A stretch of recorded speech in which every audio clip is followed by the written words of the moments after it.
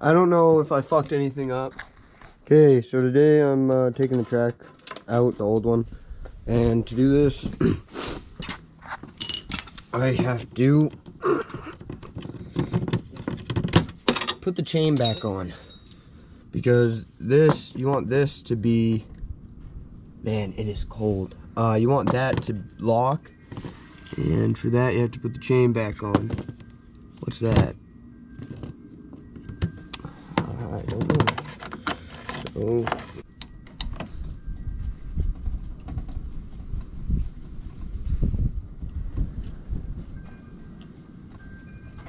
doesn't have to be tightened up crazy, but I did. Um, it's a 5 8 I'm gonna assume. Yep, and just make sure you go the right way, which is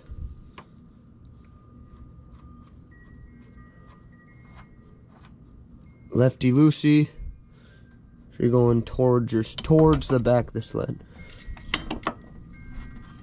Ah, just just like that.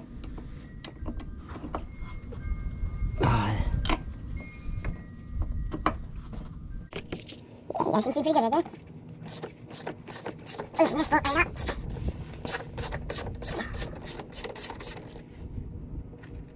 Comes right off.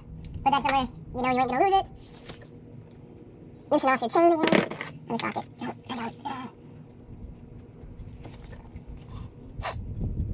Snowed today. Pretty cool. Oh wow, that needs to be a lot. Yeah, there's slop in your uh, tightener, your tensioner. Uh, it could just be an Allen bolt, and it's not the make rebuild kits for the tensioners. Keep loosening that up.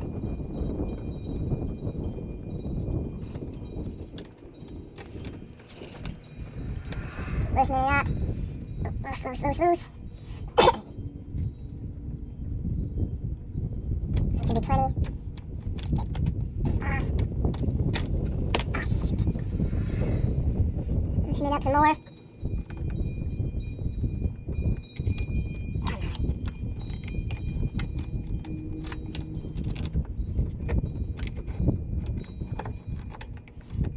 I could have went a lot better. So, here's your gear. I'm putting that right here with the bolt.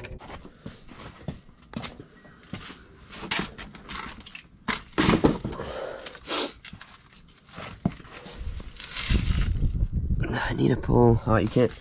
Let me get my flashlight.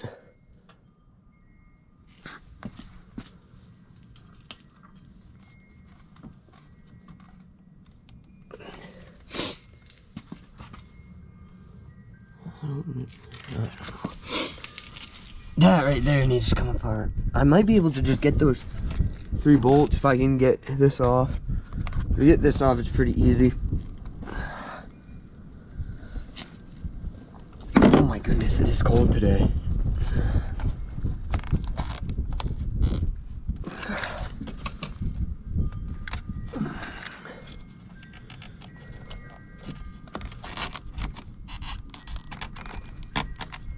Pull that. Should lift up. I hope not, but here it is. Um, it was just one snap ring on one side. I, if there was a snap ring on the other side, it didn't come out, but the inside of that should be, nope. And now, I'm gonna pull this track out.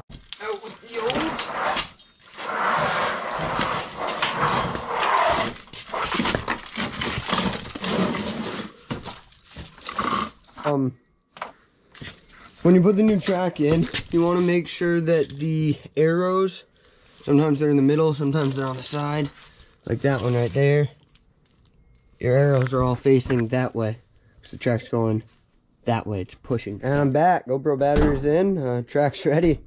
I've been waiting for this moment since I got this skidoo, really. I'm going to put my boot, where's my boot? Right in there. Yeah. And I'm gonna jam that thing right as tight as I can get because the excess slack I had was getting it so it wouldn't push all the way up.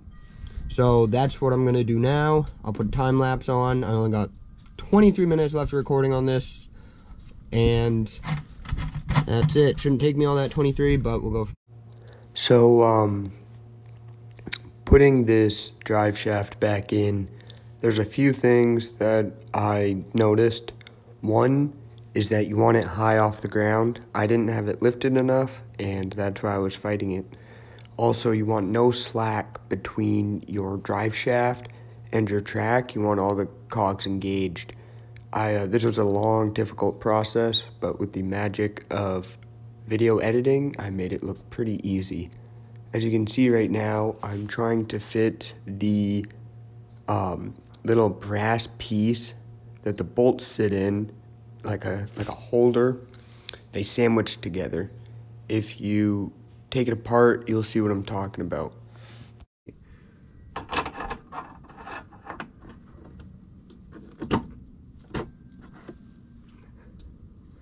I mean, it fits.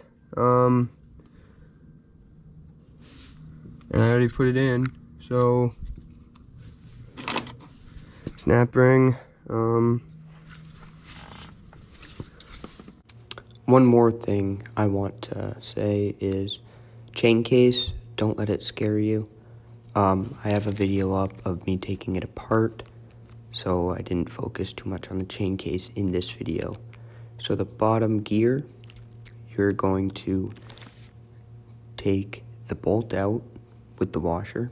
Then there will be a collar. Take that little collar out, then the gear slides off. After the gear slides off, there is a bearing in there. Take your snap ring pullers, get the snap ring out of it, and then it's free. On the other side, all you have to do is three bolts on the speedometer housing for the speedometer gear. Take that out, and that whole unit will come out. It is pretty easy. Make sure you grease this where the speedometer is. There's a little grease spot on it. I have another video that I'll be posting soon, or it might already be up. I'm not sure yet, of me doing all the grease points on the skidoo. As you can see, I'm putting the collar on now, and then I'm now looking for that bolt.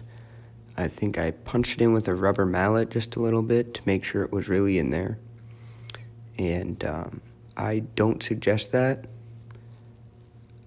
You could move the shaft. You don't want to do that. I was stupid, but I did it anyways. And then I put this bolt on with the lock washer, and I'm done that. And then I got my chain. Order a new chain if your sled's above 4,000 miles. That's what I did. I ordered a new chain. To tighten this bolt, you're going to have to put a chain back on See, I didn't know that, but you need to put your chain back on, and then you'll need to put your brake on. Because if you don't, you'll just spin it. But that's how you do that.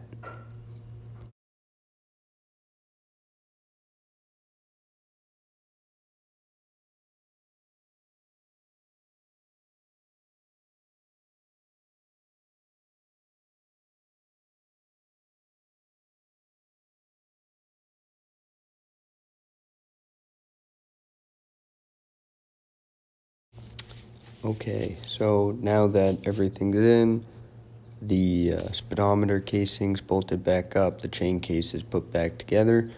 Now you can put your rail and suspension unit back in. This is a, the hardest process I came across.